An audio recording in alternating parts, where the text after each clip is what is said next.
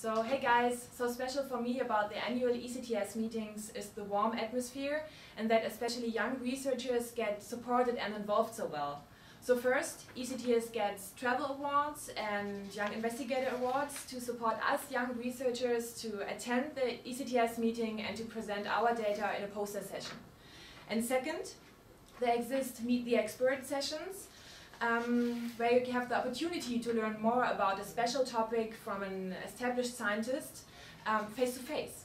And third, there exists um, a session especially for new investigators where you got the opportunity to present your data in a guided poster tour or in an oral presentation. And in both cases you can win nice prizes.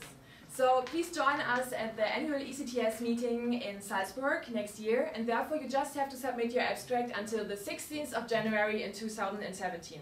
I look forward to meeting you there. Bye bye. We want you!